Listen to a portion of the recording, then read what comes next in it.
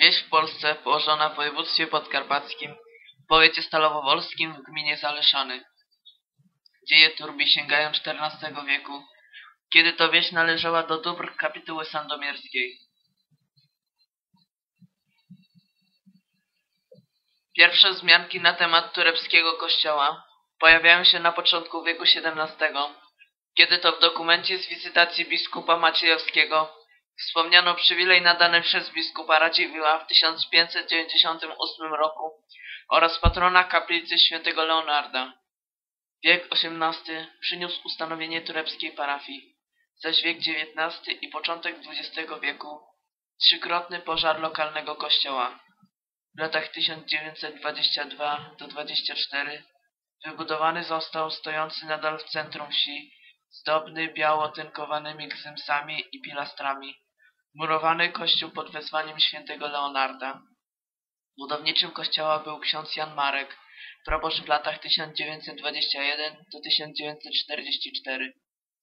Naprzeciwko kościoła znajduje się przydrożna kapliczka z pierwszej połowy XIX wieku, poświęcona świętemu Florianowi. Parafia należy obecnie do diecezji sandomierskiej dekanatu Pysznica.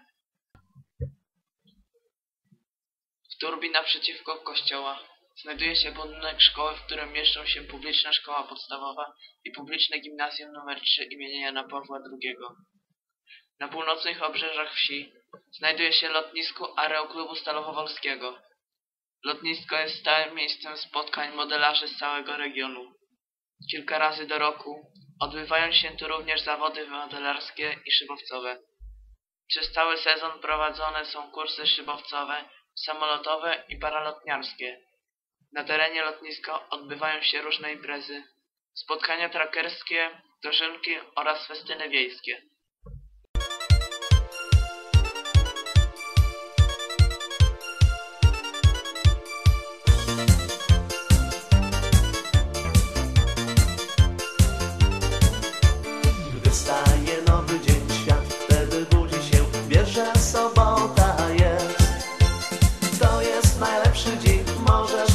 Wyszaleć się, zabawa we wsi jest.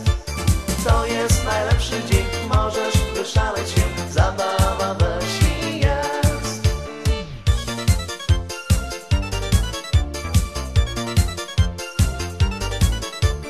Pole obrabiasz wnet, ciągnik w garażu jest, zaraz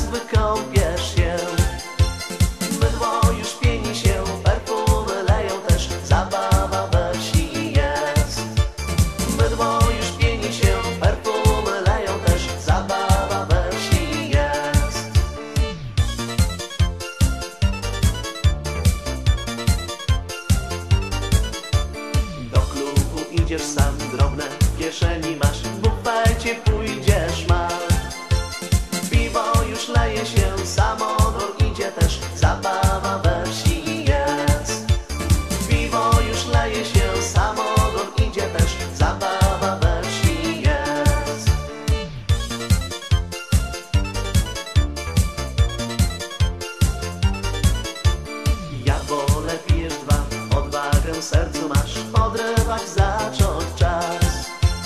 Dziewczyny śmieją się, chciałyby wszystkich mieć, zabawa we wsi jest.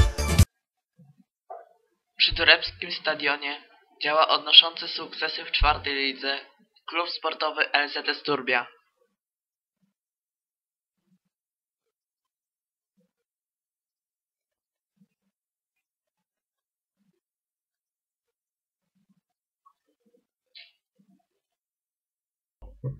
W Turbii obecnie prowadzone są inwestycje z wykorzystaniem środków z Unii Europejskiej.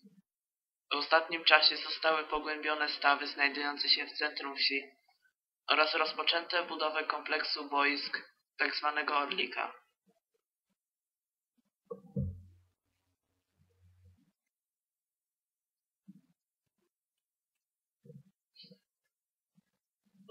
Czytała Krystyna Czubówna.